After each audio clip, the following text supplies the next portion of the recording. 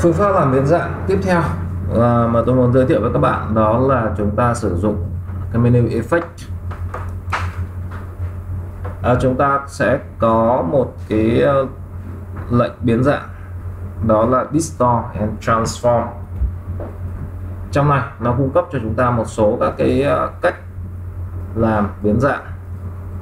Thực ra ở đây thì nó có hai cái một là distort là làm biến dạng và hai là transform làm thay đổi kích thước uh, thì uh, chúng ta có free distort này Bucker and Blood này Rogan này Trick này Twist này Zigzag thì đó là những cái thuộc về ờ, uh, distort thế còn transform thì là một cách làm tổng hợp hơn cho các thao tác transform vốn trước đây là nó hơi rời rạc. Thì chúng ta cùng quan sát nhanh những cái này. Đầu tiên là free distort free distort thì khi chúng ta nhấp lệnh nó sẽ mở ra cho chúng ta một cái cửa sổ nhỏ như này. Sẽ có một cái khung bao xung quanh cái hình mà chúng ta đang chọn.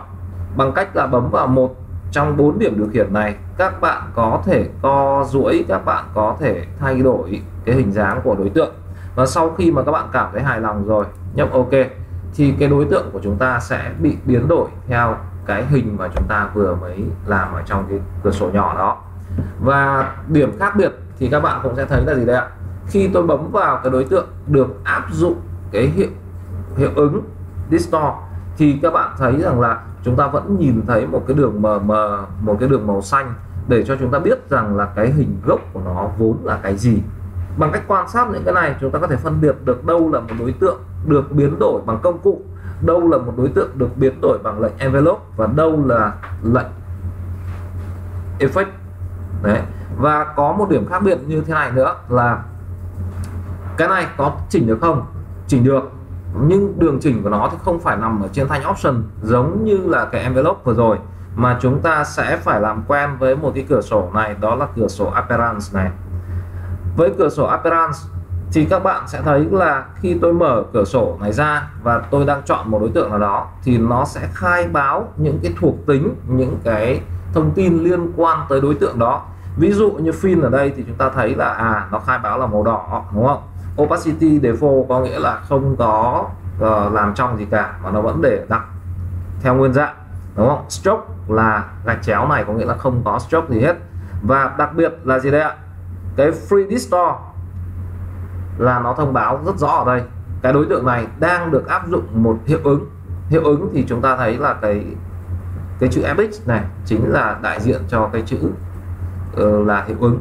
Và chúng ta muốn hiệu chỉnh thì chúng ta sẽ bấm vào chữ free store này. Nhưng điều đặc biệt là gì đấy? Nếu mà không hiệu chỉnh mà tôi bấm bỏ cái mắt này thì sao? Các bạn sẽ không thấy hiệu ứng đó nữa. Và các bạn sẽ lại thấy cái đối tượng trở về nguyên dạng. Đấy. mặc dù hiệu ứng vẫn còn nhé, nhưng tôi không cho hiệu ứng này hiển thị. Thì nó sẽ thấy nguyên trạng luôn. Còn trong trường hợp có hiển thị mà tôi bấm vào chữ free store này thì sao? Nó lại hiện ra cái cửa sổ free store. Thực ra thì không, đây là chúng ta đang làm ở trong cái ví dụ đầu tiên là với free store, cho nên là nó có tên như thế. Còn về sau này, khi các bạn làm bất cứ một hiệu ứng nào, thì chỉ cần nhìn thấy cái chữ fx ở đây, có nghĩa là các bạn có quyền bấm vào cái tên của cái hiệu ứng đang được dán này, và các bạn sẽ mở hộp thoại ra và điều chỉnh lại. Ví dụ bây giờ tôi không thích như thế này nữa. Tôi thích tạo ra một ngôi sao vặn vẹo hẳn như thế này đi. Ví dụ như này, ok. Các bạn sẽ có được một cái đối tượng cũng vặn vẹo, y xì như thế. Còn trong trường hợp mà các bạn không thích như thế này, các bạn bảo thôi, tôi chán rồi.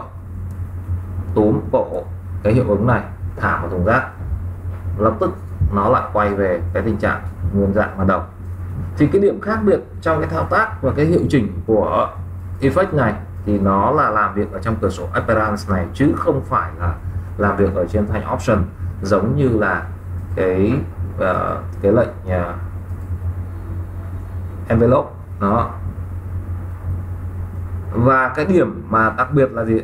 Nó cho phép chúng ta tháo rỡ ra cho phép chúng ta tháo rỡ cho phép chúng ta hồi tố để đưa cái đối tượng trở về cái nguyên gốc ban đầu. Thế còn cái điểm khác nữa là gì đấy ạ? Hai thằng đều có thể tháo ra khỏi cái hiệu ứng. À, tuy nhiên là thằng envelope cho phép chúng ta gì đấy, chấp nhận cái hình dáng mới đó chấp nhận cái hình dáng mới để thành một đối tượng mà có hình dáng như là vừa điều chỉnh trong envelope. Tuy nhiên là thằng effect này thì không. Effect này biến dạng hoặc không biến dạng, hiệu chỉnh hoặc không hiệu chỉnh, còn có thể dỡ ra thôi, chứ còn nó không có cái cơ chế để mà chấp nhận rằng đây là một cái hình dáng mới của đối tượng. Thế còn các cái hiệu ứng khác thì sao? Đây chúng ta xem tiếp một vài hiệu ứng khác nhé distort này Poker envelope này. Một hộp thoại rất đơn giản như thế này. Nhấn preview để xem. Một chiều bên phải là bloat một chiều bên trái là Poker tôi kéo sang bên nào thì nó sẽ tác động theo cái kiểu đó. Và chúng ta để ý này thì chúng ta sẽ thấy luôn. Đối với cái uh, kiểu bloat là gì đây ạ? Nó sẽ tác động vào các cái các cái cạnh các cái đỉnh các cái đỉnh đúng không? Và nó làm nó làm đẩy ra ở các cạnh. Thế còn ngược lại ở poker là nó sẽ ép vào các cái cạnh và nó sẽ làm phình ra phèo ra ở các đỉnh. Đấy. Thế còn nhiều hay ít là do cái thao tác mà kéo của chúng ta thay thôi. Và về nguyên tắc thì có vẻ như là nó làm việc rất là đều. Đấy, phân bổ rất đều. Và tất nhiên đây, bây giờ tôi bấm vào đây thì các bạn cũng lại nhìn thấy cái hình dáng gốc của đối tượng. Không thích thì lại làm sao đây ạ. Bấm chọn này, mở cái này này đó thì chúng ta lại thấy tắt, lại trả về nguyên trạng, đúng không? Bấm vào đây thì lại mở ra hộp thoại. Và có thể điều chỉnh, và không thích nữa thì có thể làm sao đây thả nó vào thùng rác loại bỏ luôn hiệu ứng. Tiếp nữa nhá. Có vài cái thôi. Rogan. Đây. Chúng ta sẽ có cách làm biến dạng đường biên đường biên của đối tượng. Đấy. Có một số các cái tùy chọn như thế nào, như sau. Đầu tiên là size. Size càng lớn thì cái biên độ dao động của cạnh của đối tượng càng lớn. Đấy. Size nhỏ thì dao động ít thôi ở đây chúng ta có hai tùy chọn là relative và absolute. Với relative thì cái biên độ dao động rất là lớn. Nó có thể đâm sâu vào bên trong đối tượng, cũng có thể là chạy ra ngoài chu vi. Tuy nhiên là nếu mà chúng ta chọn absolute thì cái biên độ dao động này sẽ bị giới hạn.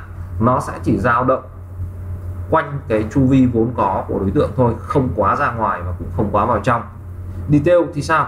Detail thì cho phép chúng ta là tăng cái số lượng biên độ dao động này lên. Nhiều hay ít? Đấy. Như thế này là ít. Các đường biến dạng ít. Còn nếu mà chúng ta tăng cái detail này lên thì số lượng nó tăng lên rất là nhiều. Và quan sát thêm nữa thì chúng ta có một phần point ở dưới này. Chúng ta có hai tùy chọn là Cogne và Smooth. Hiện tại là chúng ta đang để ở Cogne thì nó tương đối là sắc. Đây tôi ờ, thu cái này lại một chút và tôi tăng cái size này lên thì các bạn nhìn rõ hơn, đúng không? Cornea đây, sắc này, tôi bấm vào Smooth này. Thì tất cả những cái sắc nhọn đó nó sẽ được tự động là làm mềm, làm tròn đi, làm trơn đi cái đường đường đường biên đi. Đấy, và như vậy thì chúng ta có thể là làm biến dạng thêm bằng cái organ này nữa và cũng tương tự như những cái hiệu ứng trước, đấy, hoàn toàn có thể cho hiển thị hoặc không, đúng không? Bấm vào để điều chỉnh hoặc là gì đó, kéo thả vào thùng rác để loại bỏ. Tiếp nữa, ở trong này chúng ta có một cái là switch này, các bạn quan sát. Vặn xoắn, nhưng mà không không đều. Ở đây chúng ta sẽ có một cái kéo theo vặn xoắn, xoáy theo chiều horizontal này. Một cái nữa là theo vertical này. Và cũng có tùy chọn relative hay là absolute đấy. Và các bạn ra giảm các tham số ở đây. Một số các cái tùy chọn này thì nó cũng sẽ làm cho cái biến đổi của cái cái cái, cái hiệu ứng nó sẽ tác động vào các đối tượng này theo những cách khác nhau. Đấy.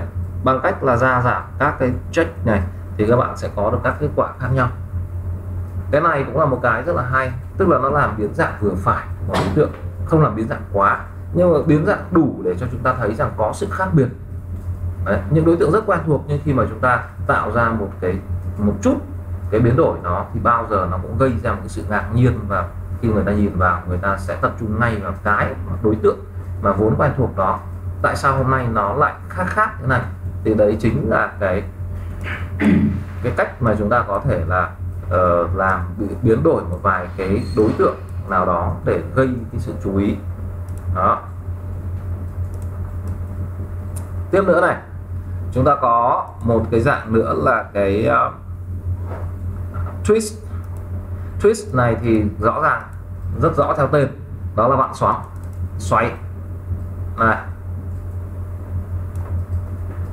Cái này thì cực kỳ đơn giản. Ra góc bao nhiêu độ thì nó sẽ vặn cái đối tượng của chúng ta xoáy theo góc bấy nhiêu. Đấy. Cái này thì nó đều nó không giống như công cụ. Công cụ chúng ta dí vào đâu thì nó xoáy ở đấy thôi thế còn cái này thì nó vặn xoáy đều cả đối tượng. Và cái cuối cùng ở trong nhóm này. Zigzag này, các bạn quan sát. Làm dích, làm đường zigzag đều cái cạnh của đối tượng. Cũng có mấy cái thao tác cũng tương đối giống như ở trên. Đây, size này là zigzag vào nhiều hay ít này. Relative là dao động. Nhiều hay hay là absolute thì nó men men men men theo cái đường chu vi cũ này. À, uh, rigor perception số lượng đường. Đó smooth làm làm trơn hay làm. Thì về cơ bản cái thằng zigzag này trông nó có vẻ cũng tương đối giống như là cái thằng ở phía trên mà vừa nãy chúng ta đã đã giới thiệu cái Ruben này. Đó.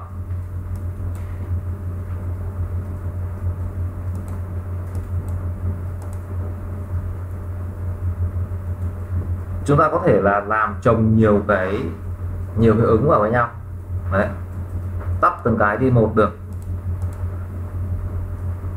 Đấy, hoặc là để trồng nhiều nhiều ứng. Nhưng về mặt nguyên tắc các bạn nhớ giúp tôi một điều như thế này nhé. Là các bạn muốn hiệu chỉnh bất cứ một cái hiệu ứng nào trong effect thì các bạn mở cái phần appearance này ra để truy cập vào để sửa. Chứ không làm theo cái cách là đã sử dụng. Ví dụ như là Rogan này rồi đúng không? Bây giờ muốn chỉnh nó lại vào trong effect lại vào distort này lại vào ruin một lần nữa thì máy treo đấy nhá. Đấy nó sẽ không chấp nhận cách làm việc này. Đã áp dụng rồi thì chỉnh là phải chỉnh ở đây chứ không phải là vào đây để bấm tiếp vào đây để gọi hộp thoại ra để chỉnh. Nhớ kỹ cho tôi cái vấn đề như thế. Thế còn cái um, cái cái um, còn lại ở trong um, ở trong effect ấy, thì nó gọi nó xếp cùng nhóm nhưng thực ra cái này thì không gọi là effect mà nó gọi là một cái phương pháp khác để chúng ta làm transform thôi. Đây cái phần transform này. Thì các bạn sẽ thấy rằng là ở trong cái hộp thoại này chúng ta có một số thứ này scale này move này rotate này và một số các cái tùy chọn khác và copy. Thì thực ra đây là một cách làm tổng hợp hơn. Tại vì như trước đó thì tôi có giới thiệu với các bạn là thằng Illustrator nó làm việc, nó phân bổ ra rất nhiều các công cụ khác nhau và mỗi công cụ nó chuyên trách một vấn đề thôi. Đấy, và khi tôi muốn làm nhiều thứ cùng một lúc thì tôi phải chuyển qua chuyển lại rất nhiều công cụ. Tôi mới làm được một số thao tác mà nó cũng tương đối là đơn giản, không phức tạp quá. Thế thì như thế thì đôi lúc là người ta cảm thấy rất là khó chịu, bởi vì là làm một vài cái thao tác thôi, không thôi, nhưng người ta phải dừng lại liên tục để người ta chuyển công cụ và như thế nó làm ngắt vụn cái mạch làm việc của người ta ra. Thì cái cách làm transform này thì nó giúp cho người ta giải quyết được nhiều việc cùng một lúc, tức là ra nhiều lệnh, sau đó mới xác nhận kết quả. Ví dụ như là tôi làm cái horizontal này nhá. Dịch một khoảng cách bao nhiêu đây, ví dụ như là làm tăng kích thước này đó tăng kích thước bao nhiêu phần trăm nó này, hoặc giảm kích thước này. Đấy, chia ra làm cả hai chiều. Ngang, dọc, đấy nhá. Mu này, dịch bao nhiêu? Đấy, xoay bao nhiêu? Đó, rồi lật theo chiều ngang hay lật theo chiều đứng gì đó. Đó, rồi thì nhân mạng copy, bao nhiêu bạn? Ví dụ một bạn. Này, thì các bạn sẽ thấy rằng là lúc này chúng ta sẽ có các thao tác là nó đi liền mạch với nhau. Tức là nhiều thứ làm cùng một lúc. Nhưng mà không cần phải đổi nhiều công cụ giống như là chúng ta làm ở đây. Đây, ví dụ bây giờ, chẳng hạn như là tôi muốn là đây nhá, scale nhá. Đó scale này, tôi cho nó tăng lên làm sao đấy một thằng 50 phần trăm, một thằng 100 phần trăm, ví dụ này, đúng không? Sau đó làm xong rồi thì tôi mới lại chuyển công cụ này, tôi mới dịch nó đi một tí này. Sau đó tôi lại quay một tí này. Sau đó thì tôi lại làm nhân bản ABC ở đấy. Thì các bạn thấy rằng là một số thao tác đó không quá phức tạp nhưng rõ ràng là chúng ta phải ngắt ra ngắt ra ngắt ra làm rất nhiều lần chúng ta mới đạt được một cái hiệu quả như thế.